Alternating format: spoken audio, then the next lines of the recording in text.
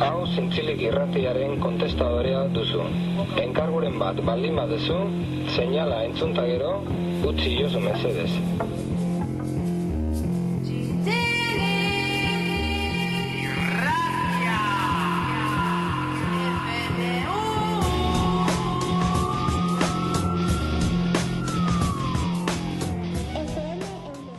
Mila bederatzeun eta berrogeita mar eta mila bederatzeun eta irurogeita mazazpi artean, horeretako biztanleak amabi mila izatetik berrogeita mar mila izatera pasatu ziren, eta honek itxu-itxuan aldarazi zituen herriaren inguruneak eta kultura. Baina sinestarazi nahi zuten, Frankoren eriotzaren ostean askatasun berriak trantsizio demokratikoa deritzonaren eskutik etorriko zirela, baina horeretan, gainerako herrietan bezala, autoorganizazioa eta herri borroka izan ziren aldaketen eragileak.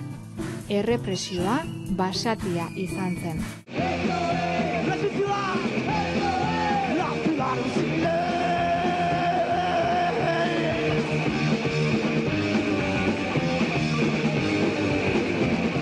Larogeiko hamarkadaren hasieran, gazte belaunaldi berri batek ia normaltasunez ikusten zuen violentzia politiko handiko giro ura. Langabezia, eroina, zen plana, galekoak, intxaurrondotik edatzen zen impunitatea, errefuxiatuen espainaratze behartuak, narkotrafikoa, errepresioaren ezaugarri berriak ziren. Bere aurkezpena mila bederatzireun da larogeita iruko San Juan gau magikoan izan zen. Patxiku zelaietan sardina jatea, klabelin komik eta mariposas rapazes taldeen kontzertua, eta eurekin batera egon nahi zenaren iragarpena, eta logotipo bat, bidaia luze honetan lagunduko diguna.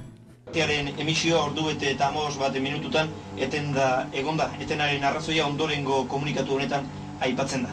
Zintzilik, txantxangorri, arraio, tximua, rai, resistentzia, amara irratia eta irrintzi irrati libretako lagunok Donostiako Euskadi irratia okupatu dugu gaur arratsaldeko zazpiterdietan. Egintza honen bidez, kakaflas azpeitiako irrati libreen ersketa salatzen dugu. Kakaflasen kasua azkena izanik ere ez da bakarra alabedi gazteizkoa, iruñiako eguzki eta abar eraso zituzten aurretik.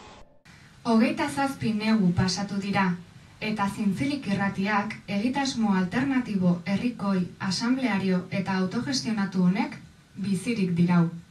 Informatzeko, ongi pasatzeko, probatzeko, ikasteko, saiatzeko, eta proposatu nahi duzun guztia aurrera ateratzeko egitasmo bat da hau.